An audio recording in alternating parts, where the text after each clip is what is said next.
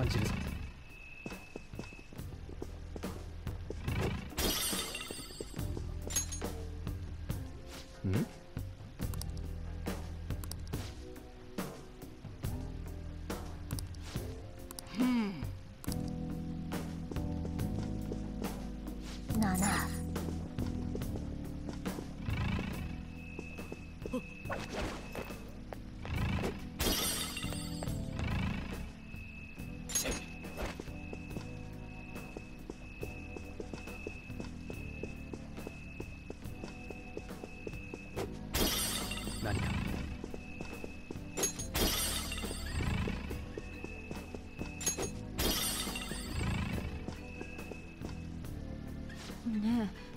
やっぱおかしいよ。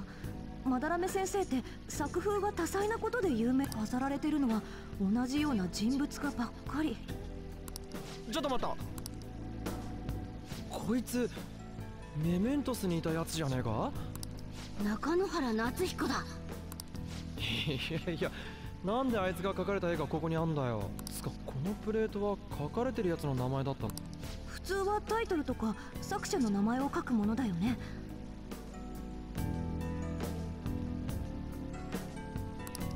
つの絵がある理由も謎だな。よし。もっと先も調べてみようぜ。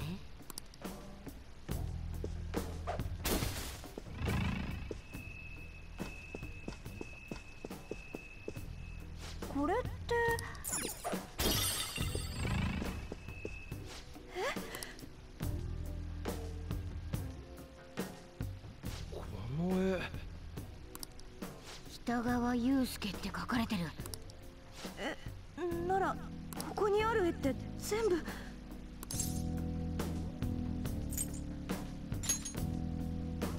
うん。そうだよね。マジか。この人数全部か？弟子というか弟子だった連中だろう。前の中野原ってやつの件といい。なんとなく見えてきたぜもう少し奥を調べてみよう。確信が欲しい。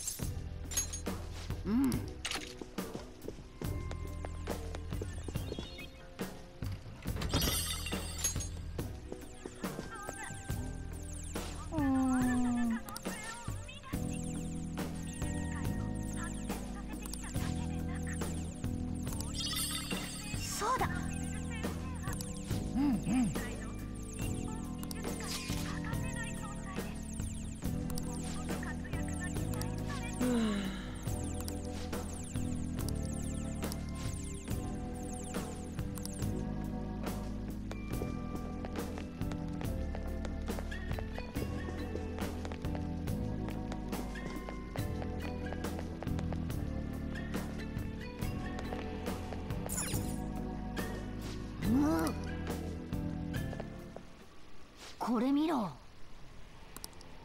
無限の泉？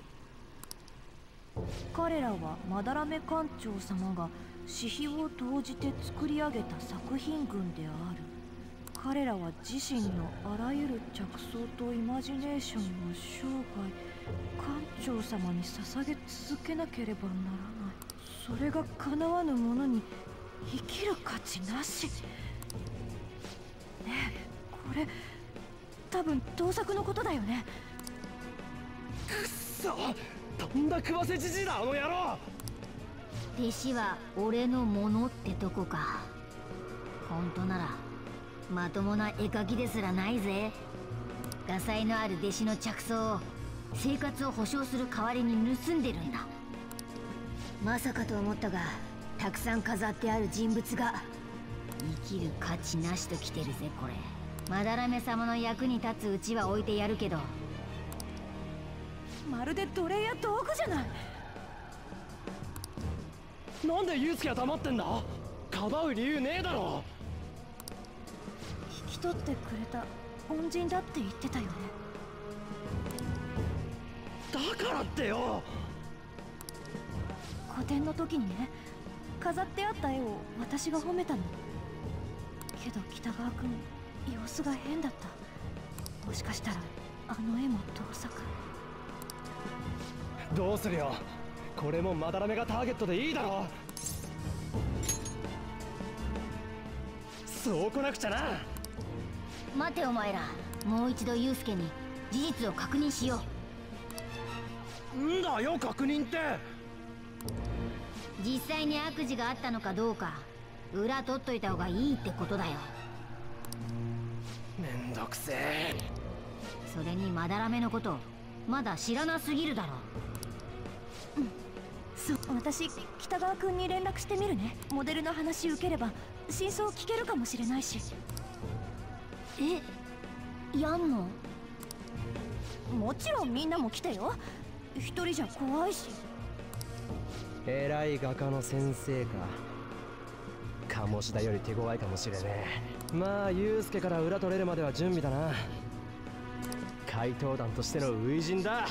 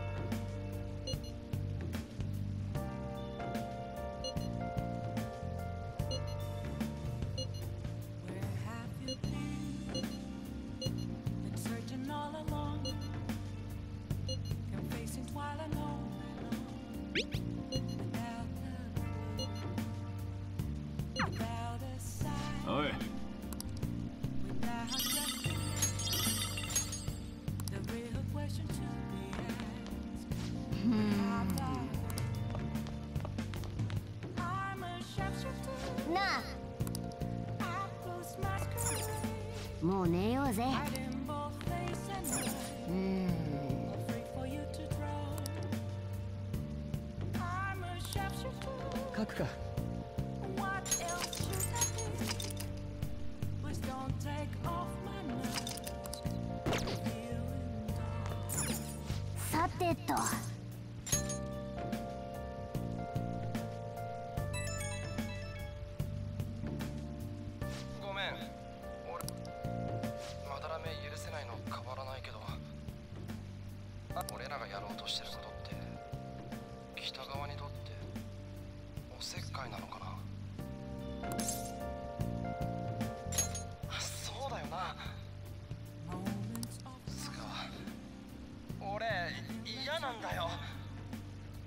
だけでイライラする。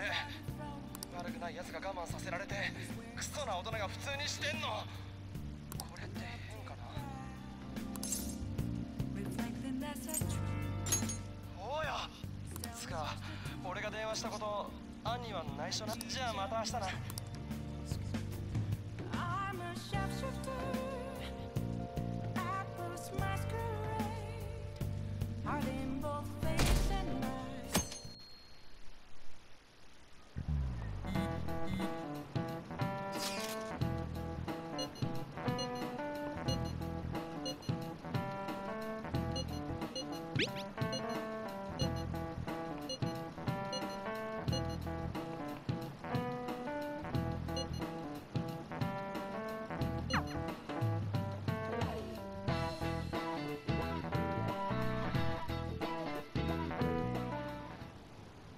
北川君から返事来たよ。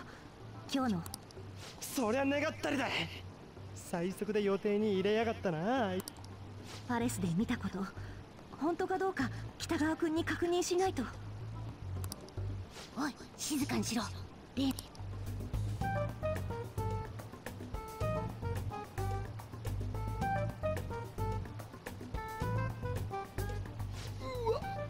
日は三島が捕まってんのか？ったら面倒だな。オッケー。また後でね。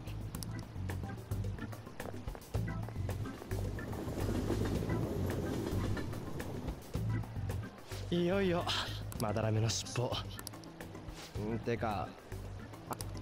ごめん。考え事してたらいつの間にか時間過ぎちゃってて。考え事？北川君ってさ明らかにまだらめのことをかばってるよね。一緒に住んでるんならまだらめの本性を知っててもおかしくないのに知っててかばってるんだとしたらまだらめになんか弱み握られてるとか。まあ様子は確かにおかしいよな。つうかこれからそれを調べんだろ？まあ一応準備してた。準備？どっか変わってる？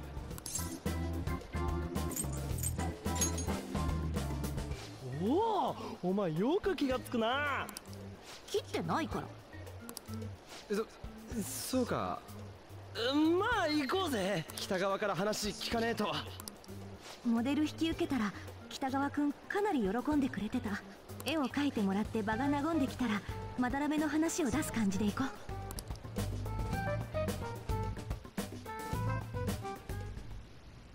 高巻さんだけだと思ってたんだがな。二人っきりだと緊張しない？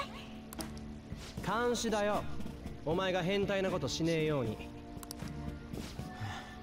妙な勘繰りはやめてくれ。彼女に異性としての興味は一切ない。何か問題でも？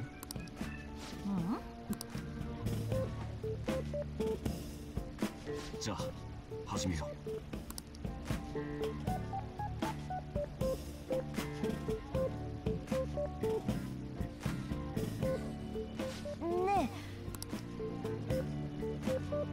北川君？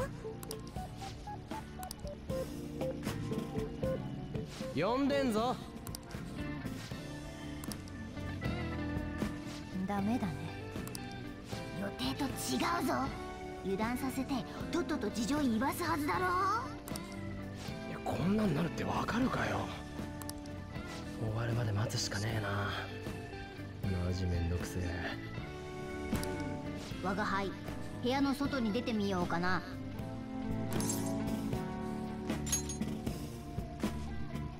ふん誰に言ってる？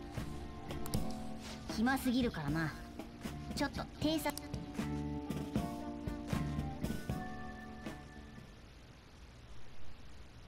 妙に派手な襖だな。それにあれ鍵か？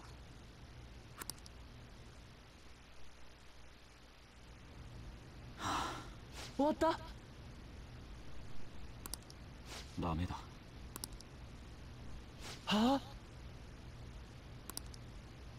ごめん。私じゃダメ？いや違うんだ。今日はちょっと調子が出ない。悪いが日を改めさせてくれ。ふざけんな！何時間待たされたと思ってんだよ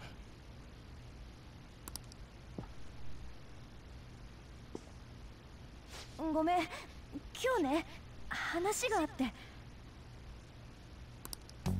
お前んとこの先生の噂だよ。またそれか。私が個展で見たあの絵。本当は北川君が描いたんだよね。それは。やっぱりそうなんだお前の先生マジやべえんだけど弟子をただのものだと思ってやがる。だから盗作だろうが虐待だろうがそんなのお構いなしってわけだ。言っとくが俺らに隠し事通用しねえからな。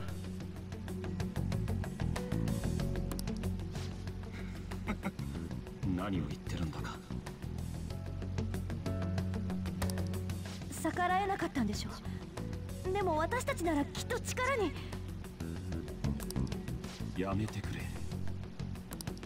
お前たちの言う通り俺たちは先生の作品だ。勘違いしないでくれよ。俺は自分から着想を譲ったんだ。これは盗作とは言わない。先生は今スランプなだけだ。どういうことだ？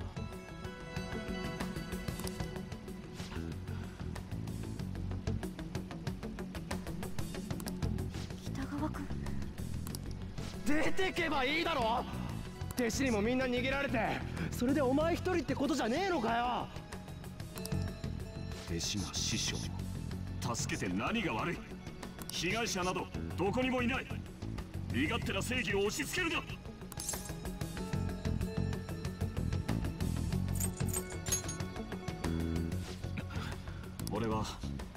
弟子として先生を支えている。それの何がいけない？二度と来るな。次は迷惑行為で訴えてやる。待てよ！話は済んでねえんだよ！じゃあ仕方ないな。おい！通報させてもらう。今日はモデルをお願いしたんだ。そもそも他の二人を呼んだ覚えはない。だとこらリュウジやめなって。落ち着こ通報はやめておく。う条件？高巻さんにモデルを続けてほしい。でもさっき違うって。あれは俺が無意識に君に遠慮してしまっていたから。けどもう心配しなくていい。君が全てをさらけ出してくれるなら俺も全身全霊を込めて最高のラフ画に仕上げてみせる。はラフ？理想のモデルでラフ画を描けるなんて。もちろんお前らは入れないし今日の話も忘れてもらう。そろそろ新作を先生に提出しないといろいろ不都合がある。ラフってヌードでしょ？それが条件だからだ。そんなのって。いやそれまずくね。古典の会期中なら昼は先生も不在が多いしここを好きに使えるな。少し画材を足しておこちょっと待った。うもちろん待とう。君に合わせていつでも予定を空ける古典が終わる頃までには来てくれ。違う違うって何勝手に。そろそろ先生がお戻りになる。今日はここまでだ。高巻さん連絡を待ってる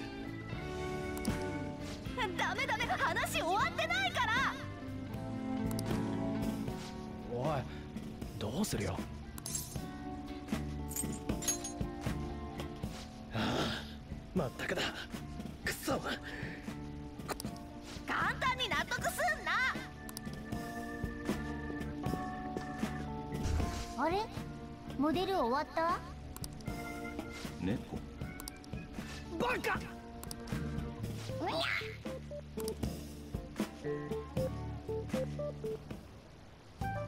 頭おかしいよ絶対。このままじゃヌードだよ。己祐介。奴のあの言い方じゃセミじゃなくてフルだな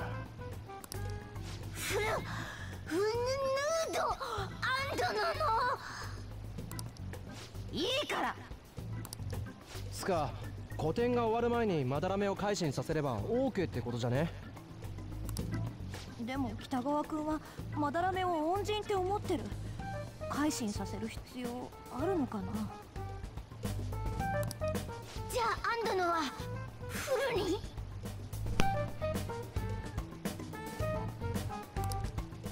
ねえからまだらめだって鴨志田と変わんねえ。野郎は親のいない祐介を利用してやがんだぜ。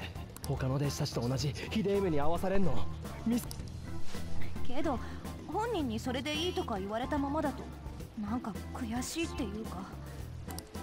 アンドのは鴨下のこと耐えてたからユウスケに思うとこがあるんだな。うん。とにかく絶対狙うべきだろうユウスケの目も覚まさせてやろうぜ。そうだよね。まずはまだらめのことを調べないとな。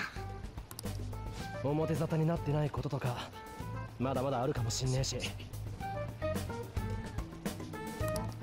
古典で忙しくなればパレスの中を調べやすくなってるかもな。あと私のモデルのことも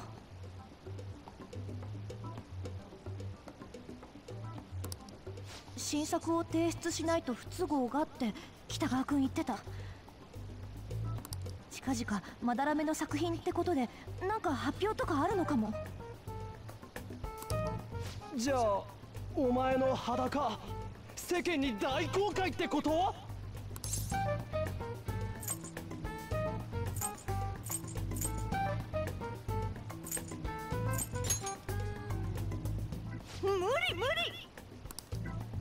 これは何が何でも古典が終わるまでにまだらめをなんとかしないとな。早速明日の放課後から動こうぜ。屋上はまた会長さんに見つかると面倒だし集合はそ渋谷の通路みてえな。あそこでいいか。まだらめんちからも近えし。アジトを点々と変えるか。わちょっと君たち話ん？見たとこ君らただの押しかけファンって雰囲気じゃないよね。あのあごめんごめん。実はまだらめの門下生と知り合いの人間昔盗難にあったっていうさゆりって絵があるんだけどね。当時の門下生がまだらめの虐待の腹いせに盗んで出てったって噂をつかんだわけ。なんか聞いたことない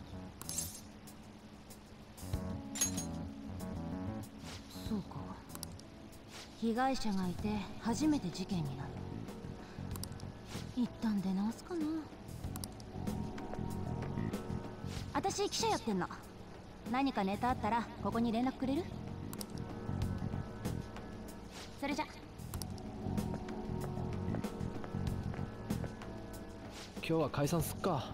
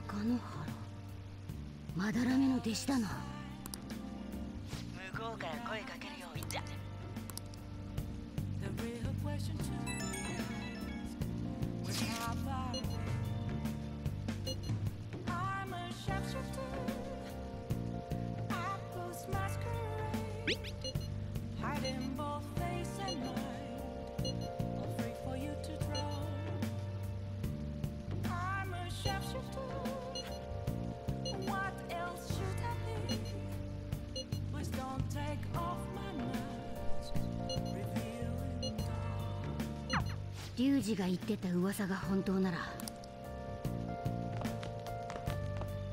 さてと。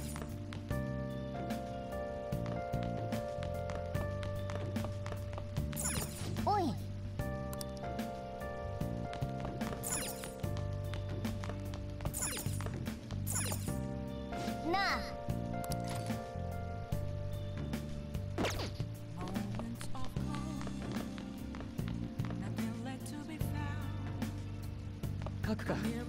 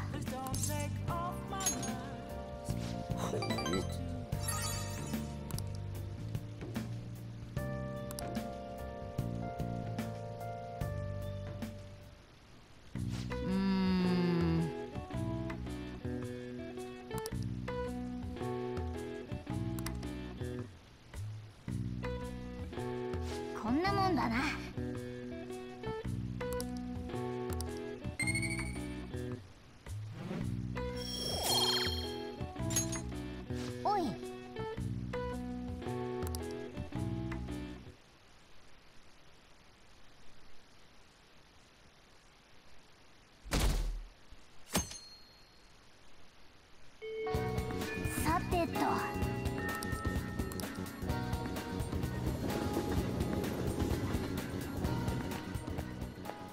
いや私らもこれからアジトに行くとこ。あの人って。君。中野原だ。三島から連絡を受けて。マジ？中野原です。回答お願いチャンネルに書き込まれた。中なんか優しそうな感じだ多分。改心うまくいったんだね。管理者から連絡もらってる。猫を連れた囚人の制服を探せって。でその中野原。聞いてると思うけど怪盗団に改心させてほしい奴がいる。まだらめって画家だ。おいおい来たんじゃね弟子が師匠の秘密を告白とか？そういえばあの人のシャドウもまだらめのことを言ってたよね。私はまだらめの元弟子なんだ。住み込みで絵のことばかり考えてた。本気で画家になりたいって思ってた。少し上に兄弟子がいてね。当然まだらめに目をつけられたよ。さくまあ兄弟子に限らずの話なんだがね。おーし盗作の裏取れたぜ。その兄弟子ね自殺したんだよ。自殺？まだらめが自分の作品で評価されているの。よっぽど耐えられなかったんだろうさ。さすがに怖くなって私はまだらめの反対を押し切ってアトリエを出た。けど方々に圧力をかけられて私は絵の道を断たれてしまった心機一転で絵とは別の道を。区役所への執着で気持ちが歪んでしまってね。ついにはストーカーにまで。改めてお願いだ。まだらめを一人の男の命を救うためにも。今も一人だけ。まだらめのところに残っている若者がいる。君と同い年くらいだ。ユウスケのことだ。絵の才能があるばかりか。彼身寄りがなくてまだらめに恩義がある。まだらめにはかっこ北川言いなりになるしかねえってことか。まだまだらめのところにいた頃その彼に聞いたことがあるんだ。まだらめと一緒にいて辛くないのかい？ってね。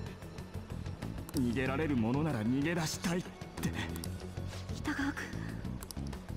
逃げ出した私が言うのもなんだが自殺した兄弟子の悲劇は繰り返したくない。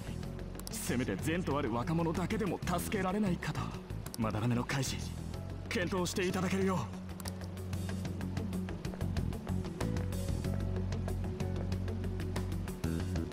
まだらめの被害者から直接頼まれたんだ。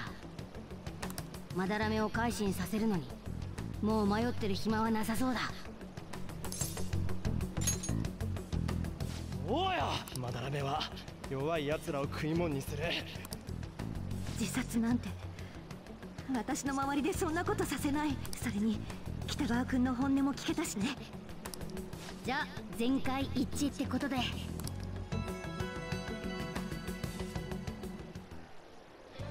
諸君ようこそ新しい。今回のターゲットはマダラメだ。見ただろあのパレス。前と同じなんて舐めてたら痛い目を見るぜそれにアンドノの低層がかかってる。はあ？やることは鴨志田の時と同じだ。まずはパレスで潜入ルートを確保。その上で心をいただく予告。はいはい質問。まだらめって俺らのこと知らねえじゃん？なんで警戒されてたわけ？だいぶ学習してるな。いいぞ龍二。きっと誰も信じてないんだろう知らない相手は全員敵扱いなのさ。それか悪い噂が広まってるって知ってイライラしてるだけなのかも。じゃあパレスが荒れてんのもらい事故みてえなもんってことかよ。何にせよ我が輩たちはいい子ちゃんで言っとこうぜ。無駄に警戒度を上げちまったらお宝を取りづらくなる。今回は北川君にも気をつけないとね見られたことはすぐまだらめに伝わるだろうし。その通りだぜ。てかまだらめのお宝って見た目どうなの？また。いや違うだろう。けど物を見れば我が輩の直感で確実にわかる。ああ変今回の期限って個展が終わるまでなんだよね。ってことは6月5日だ今回も予告状を出した後で決行だ。だから2つ戻って6月2日には潜入ルートを確定しないとな。いいつ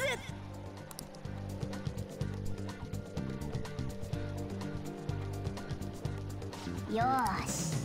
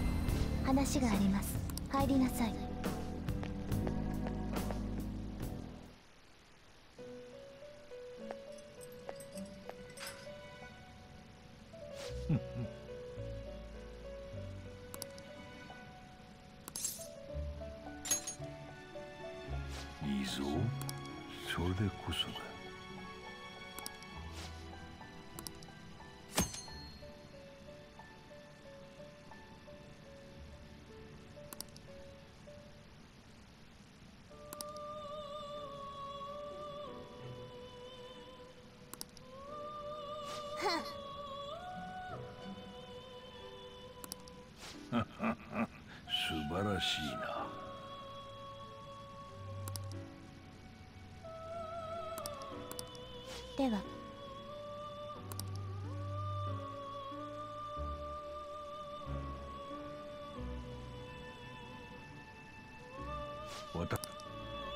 シューサー K を合体です。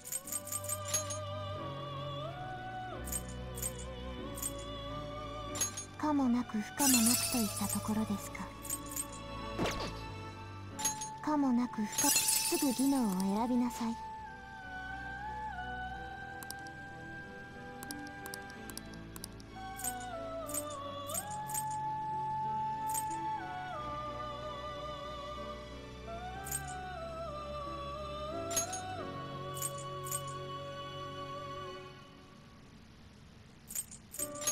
くらかは力を授かっているこれはこれは。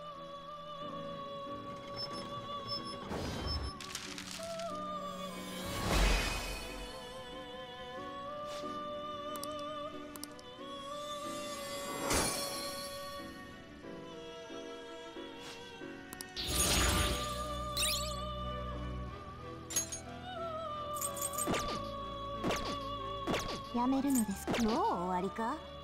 なんだ。時間です囚人。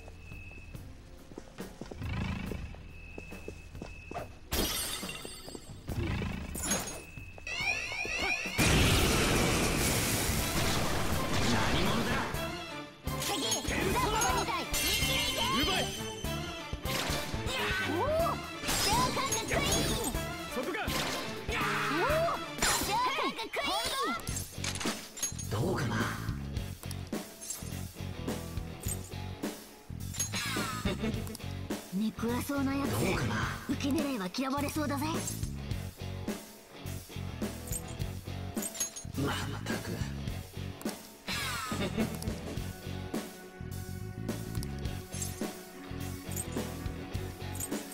その通りだ。では。一旦引こ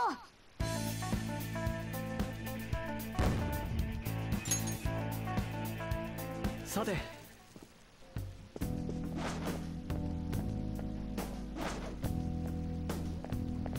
Arbeit hier.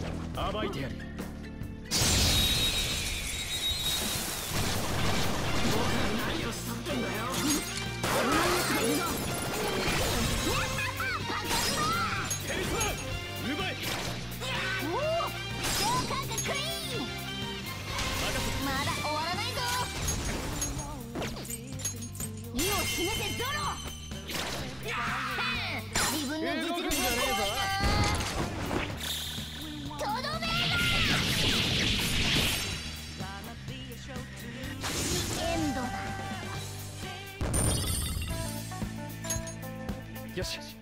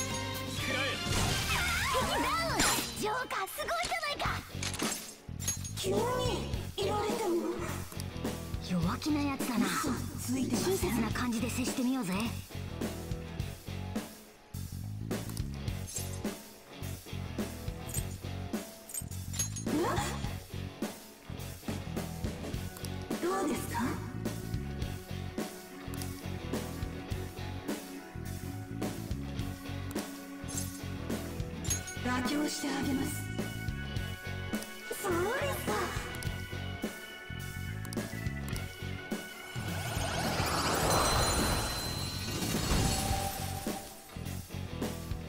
相変わらずすげえ力だなジョーカー。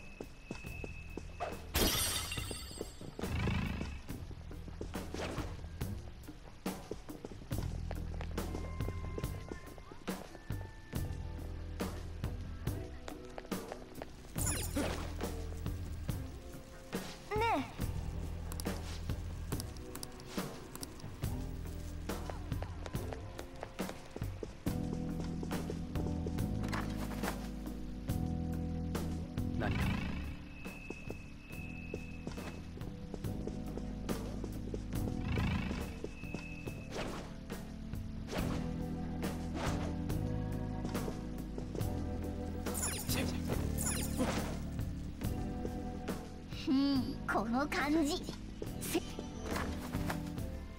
うんここは休憩に使えそうだ。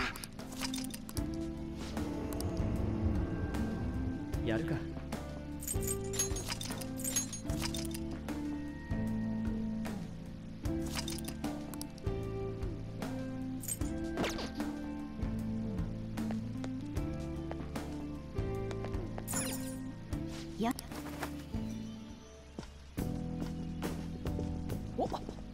ードを発見。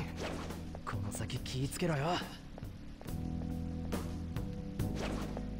正体を見せろ。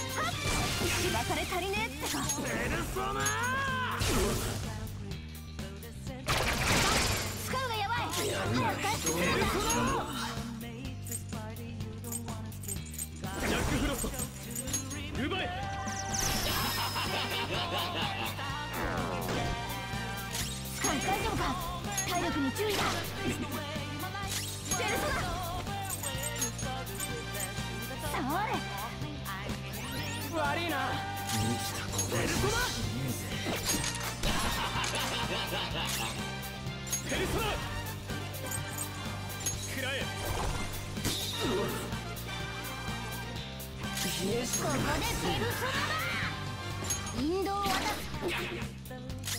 ガチだかん。ね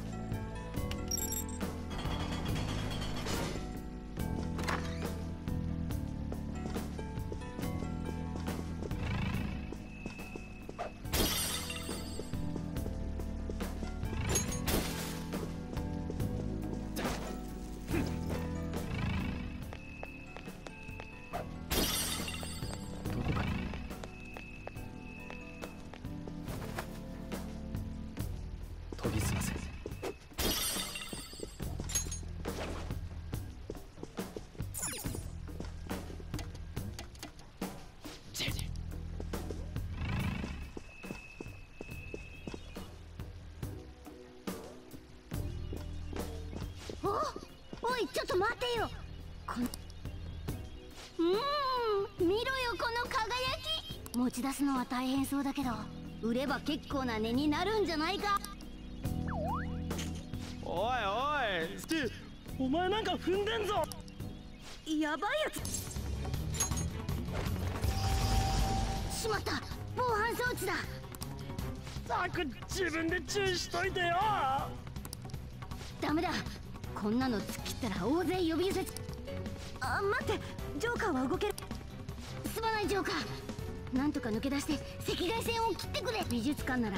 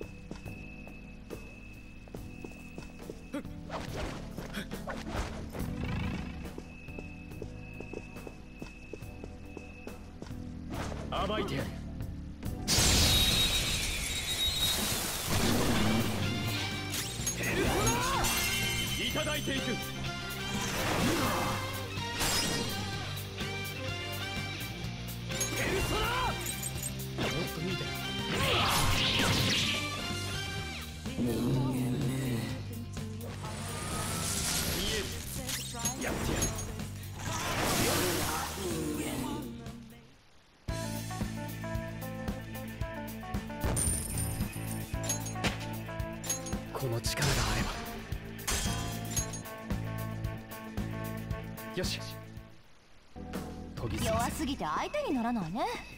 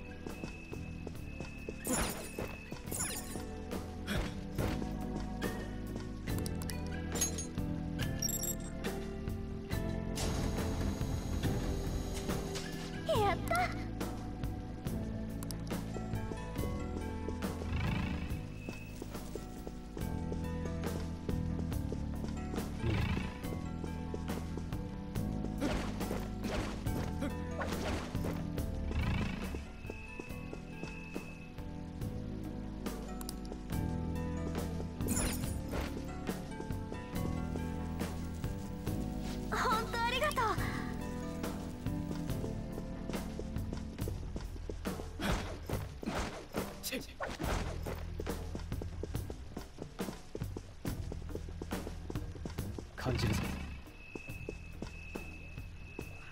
正体を見せろ。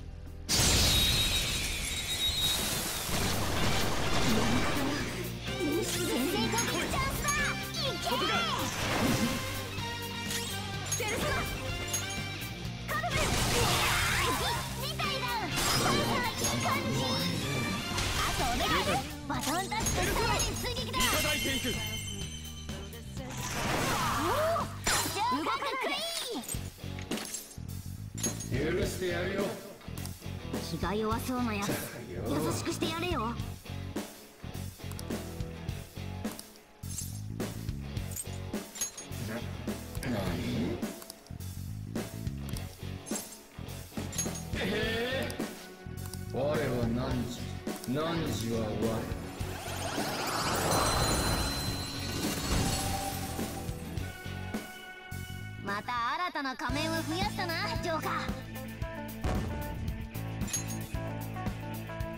ーよし。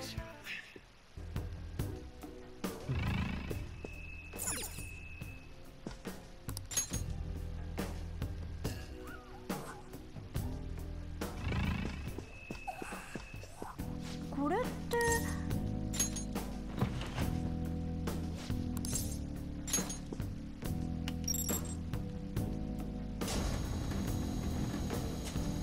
よっしゃ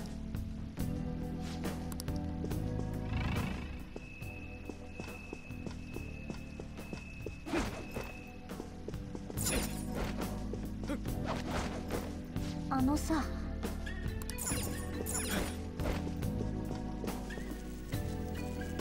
悪いな。ち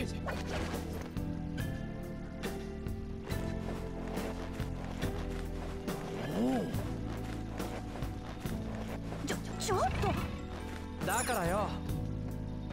おいジョーカー。なんか気になるもんあるぜ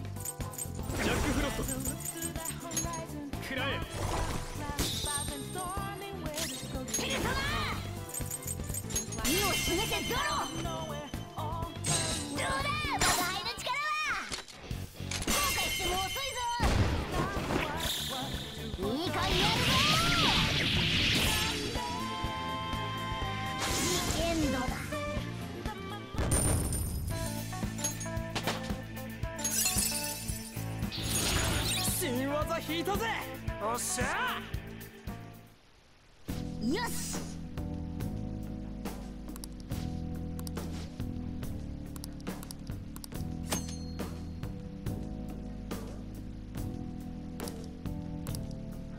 今の大したことなかったね。この感覚。